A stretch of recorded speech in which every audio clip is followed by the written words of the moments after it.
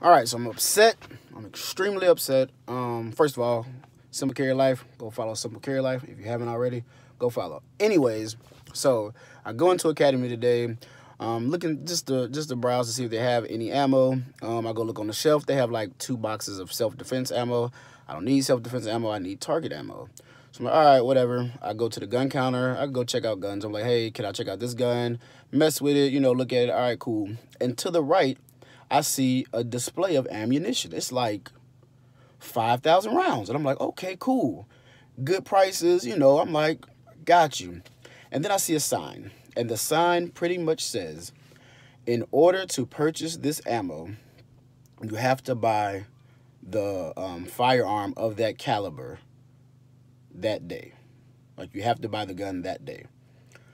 So I'm like, so you want me to buy a brand new gun, and then on top of that, you only can buy one one box. They sell you a five hundred dollar gun, and you can buy one box of ammo for thirteen dollars.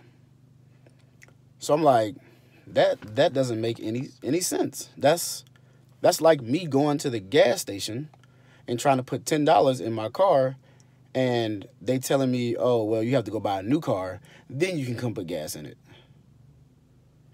that that doesn't make any sense. So I, I already have a car. Let me buy the gas. I already have a gun. Let me buy the ammo. So it's almost like you're trying to corner this ammo market, knowing already that companies are gouging prices. Blazer, fifty dollars for a box of fifty rounds. I'm never buying Blazer again. First of all, and all these companies are are are gouging ammo prices and you want to tell somebody they have to buy a $500 gun in order to buy a $13 box of ammunition.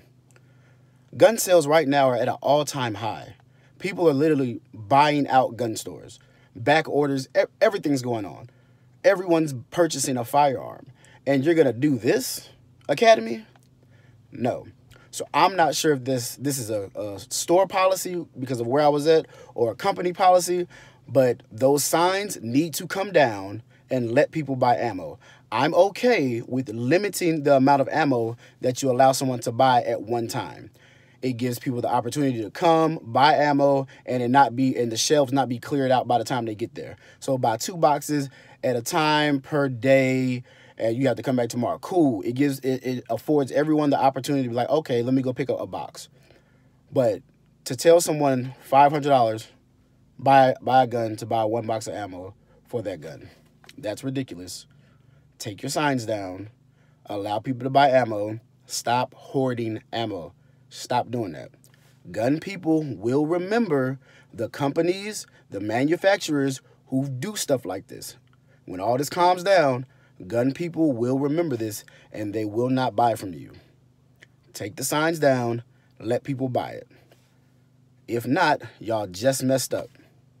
You just messed up, Academy.